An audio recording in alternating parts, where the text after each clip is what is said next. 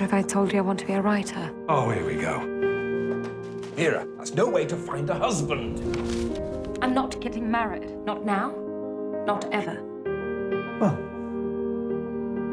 that's clear then.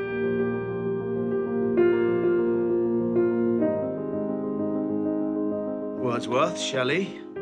All these romantics aren't good for you, you know. Don't worry. They have very little influence. You must write. Really. No one's ever said that to me before. we belong together, my three musketeers and I.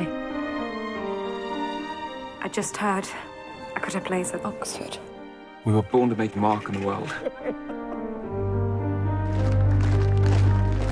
Edward, my little brother, suddenly so grown up. He's only 18. There are boys from the town who've already signed up.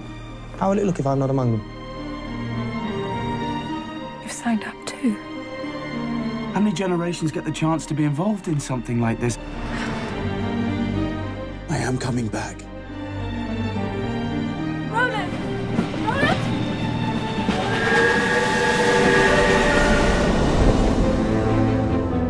There's a call for volunteers.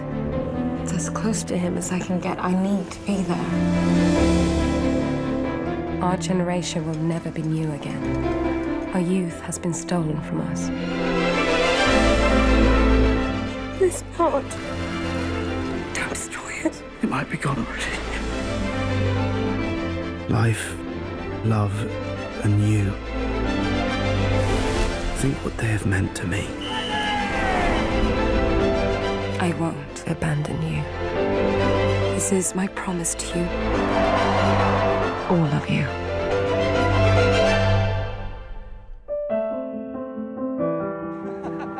Let's agree. No more fear. No more fear.